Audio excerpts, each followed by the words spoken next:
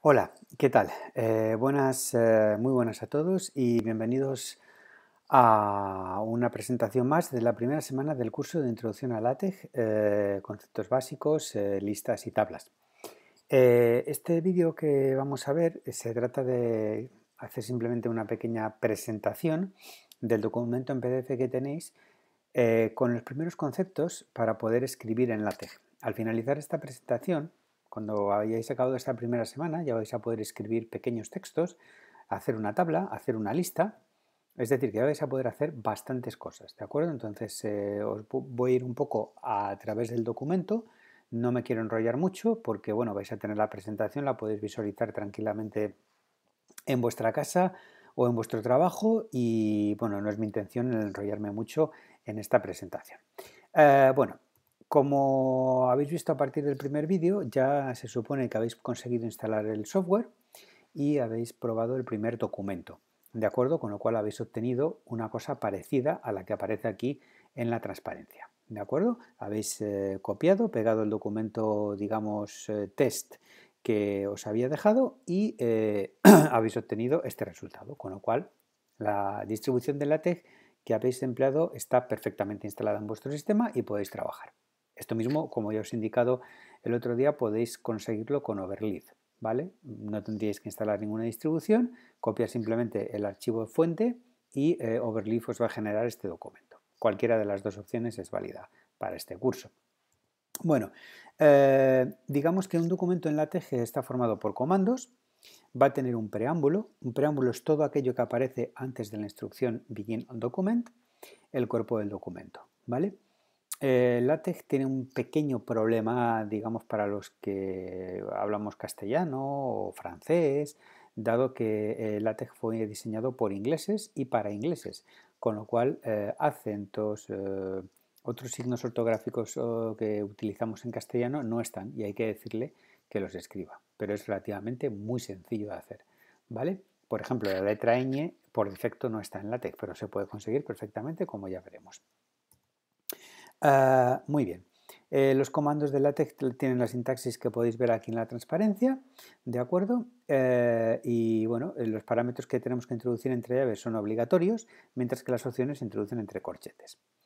¿Qué podemos colocar en el preámbulo? Pues básicamente todo lo que no es el cuerpo del documento, es decir, el tipo de documento que nosotros tenemos, los autores, el título, fecha, el abstract, importante esto, el abstract de un artículo siempre va en el preámbulo del documento, ¿de acuerdo? Y bueno, todo este tipo de cosas. Eh, los documentos en LaTeX se organizan teniendo en cuenta como si fueran un libro o como si fueran un artículo. Es decir, tenemos capítulos, secciones, subsecciones, párrafos, etc. ¿Vale? Muy importante esta cuestión que os quiero, que os quiero indicar aquí. Fijaros en esto podemos dividir el documento en documentos más pequeños. Esto para este curso básico realmente no es muy importante porque vais a trabajar con documentos muy pequeñitos, de unas pocas páginas. Pero aquellos que estáis ahora mismo realizando una tesis doctoral o que estéis escribiendo un libro o una tesis de máster o un informe grande, etcétera, sí que es muy útil y yo os lo aconsejo el dividir el documento en pequeños archivos.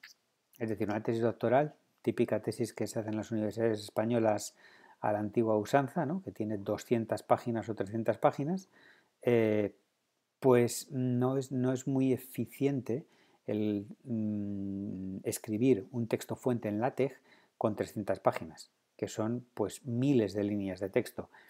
Eso no es eficiente porque a la hora de encontrar errores o corregir cosas es bastante complicado, es, es muy tedioso. Es mejor dividir el documento, por ejemplo, por capítulos y tener un documento máster en el cual vamos introduciendo diferentes inputs y cada input es un capítulo de la tesis, por ejemplo, ¿no? o del libro. Y así siempre tenemos las cosas más organizadas. Pero yo os digo que esto en este curso básico no lo vais a necesitar, pero me parece oportuno que tengáis aquí la información y que sepáis que se puede hacer de esa manera. ¿Vale? Mm, unas consideraciones muy prácticas. Eh, podemos escribir tantos espacios en blanco entre palabras como nos dé la gana, que la LaTeX los va a tomar como si fueran uno solo no necesitamos eh, hablar, introducir sangrías, puesto que el LaTeX lo hace por nosotros. Y eh, independientemente del número de líneas en blanco que coloquemos entre párrafos, LaTeX las va a considerar como una sola, con lo cual pues tampoco tiene mucho sentido que hagamos esto. Lo que os comentaba antes, algunos ejemplos para insertar caracteres especiales. por ejemplo, los acentos, los símbolos de interrogación de inicio y de exclamación de inicio, no, del final, las comillas, el símbolo del euro, etc. Y podéis ir a más símbolos en el enlace que tenéis aquí de Wikipedia.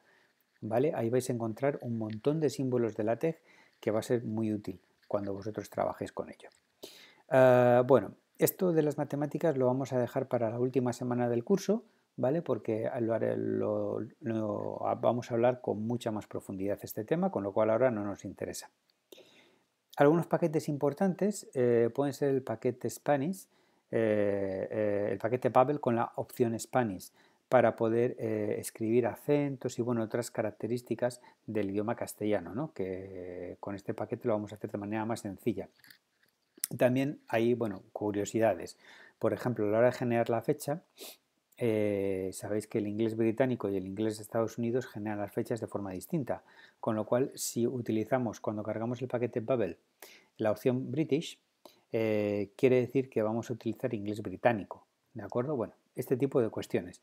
Unos paquetes que yo sí que os aconsejo que carguéis siempre a la hora de, de iniciar un documento en LaTeX son estos paquetes, estos tres que aparecen aquí, ¿vale? Que van a ser muy útiles para trabajar con matemáticas. ¿vale? Y un pequeño truquito que os coloco aquí, introducir un nuevo comando para el acento de la letra I, ¿vale? Porque si no es bastante tedioso introducirlo en LaTeX.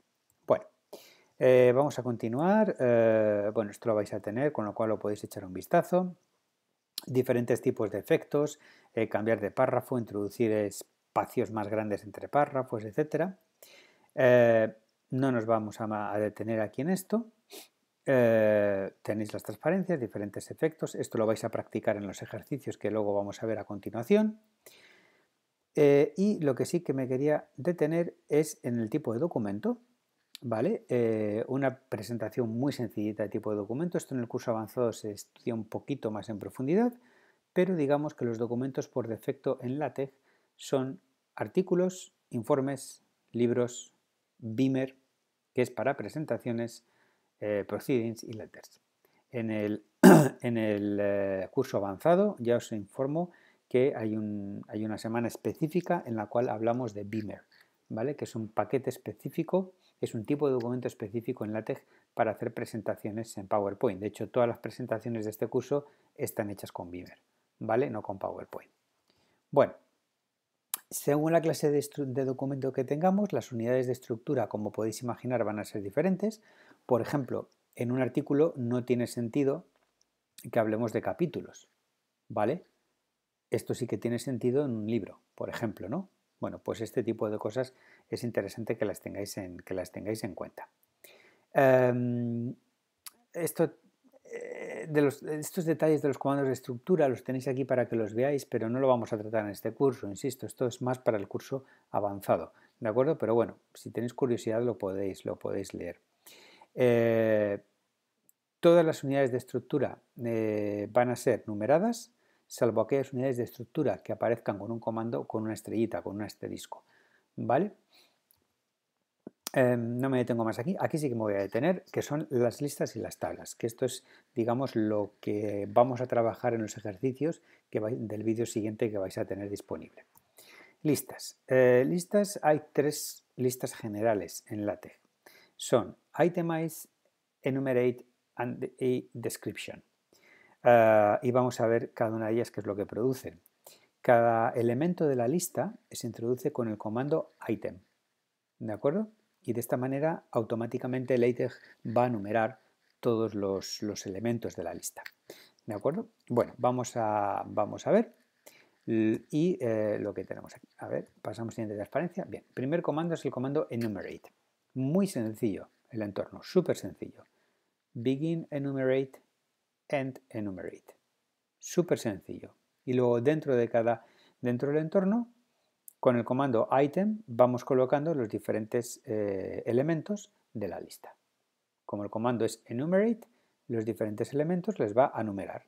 1, 2 y podemos incluso, incluso hacer eh, eh, listas dentro de listas, como podéis ver aquí, ABC. Con esto vais a practicar bastante en los ejercicios. Description. Description, la idea es la misma. el, entorno es begin description, end description y todo lo que metemos dentro de estos dos comandos a través de los comandos item nos van a generar los diferentes elementos. Simplemente es una descripción de elementos sin numerarles.